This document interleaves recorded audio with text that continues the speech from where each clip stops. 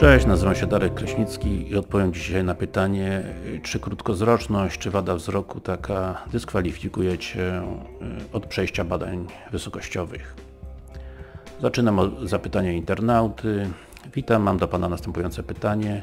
Czy będę miał problemy z przejściem badań wysokościowych, skoro posiadam drobną krótkowzroczność minus 0,75 dioptrii na jednym oku, natomiast drugie jest w 100% sprawne.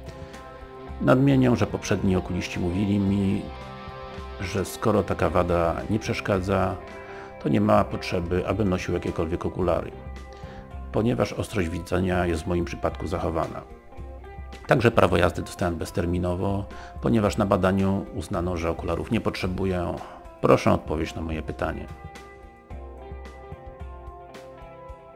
Oczywiście odpowiadając na to pytanie, nic tutaj internauta nie pisze o zachowaniu widzenia obuocznego. Na 95% z opisu wynika, że raczej przejdzie badania wysokościowe, natomiast pod jednym warunkiem. Widzenie obuoczne, widzenie przestrzenne, czy inaczej stereoskopowe jest zachowane. Jeżeli natomiast musiałby nosić okulary, to lekarz nie ma prawa dopuścić go do pracy na wysokości. Jedyna opcja są soczewki kontaktowe. Na tym kończę.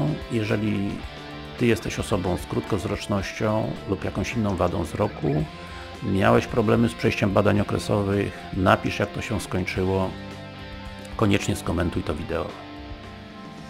Mówił Darek Kraśnicki z Wrocławia, specjalista medycyny pracy.